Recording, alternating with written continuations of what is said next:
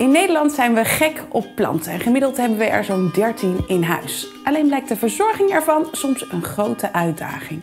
Zelf ben ik dol op bloemen en planten, binnen en buiten. En in deze video deel ik graag mijn tips met je hierover.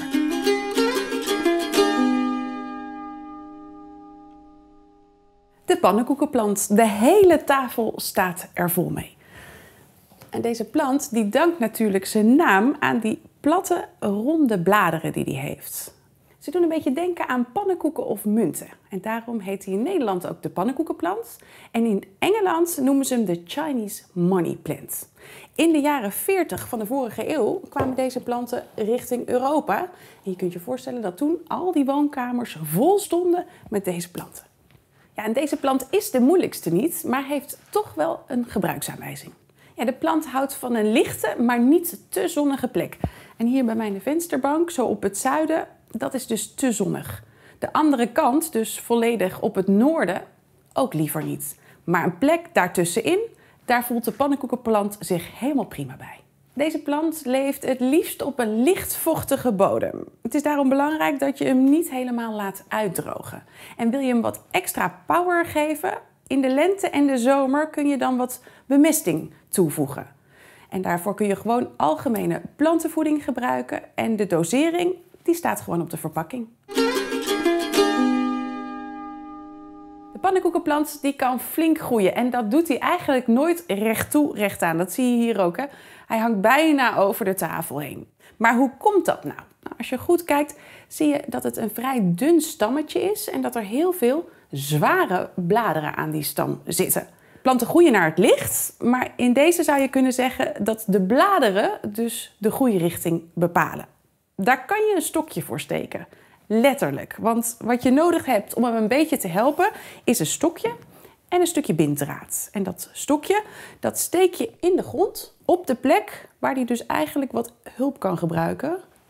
En dat is op de plek waar hij dus hangt. Dus hier steek ik zomaar dat stokje in. En dan maak je het binddraadje daar gewoon een beetje ruim aan vast. Kijk, en zo staat hij gelijk een stuk beter. Je kan ook nog, als je wekelijks de plant water geeft, hem een kwartslag draaien. En dan heb je er wel alles aan gedaan om de scheefgroei van de pannenkoekenplant zoveel mogelijk te voorkomen. De pannenkoekenplant kan na verloop van tijd ook wat minder mooi worden. De bladeren gaan hangen of krijgen een andere kleur. En dat komt namelijk omdat het stammetje dan groeit. Dus die blaadjes die kun je er heel voorzichtig van afhalen. En soms vallen ze er zelf vanaf. Ja, als die blaadjes eraf gaan, wordt die stam natuurlijk wel kaler. Maar kijk eens, dan komen er gewoon babyplantjes. Die zie je hier zitten. En die bedekken eigenlijk de stam als je ze laat zitten. Maar als je dat doet, dan moet je er wel voor zorgen dat dat babyplantje ook voldoende voeding, vocht en ruimte heeft. Zo niet, dan kan je ervoor kiezen om hem te verpotten.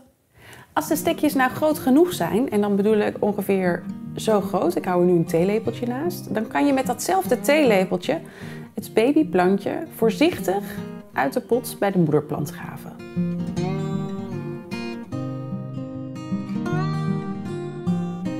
Kijk, en dit stekje heeft voldoende wortels, dus die kan ik meteen in de potgrond zetten. Je kunt ook stekgrond gebruiken. Ik heb hier een bakje gevuld, dat heb je ook nodig, met wat potgrond.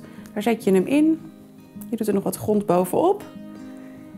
En dan kan hij meteen gaan groeien. En mocht het nou zo zijn dat er geen wortels aan zitten, dan kies je er gewoon voor om het stekje in het water te zetten, zodat hij kan gaan wortelen. En zet je het daarna in de potgrond.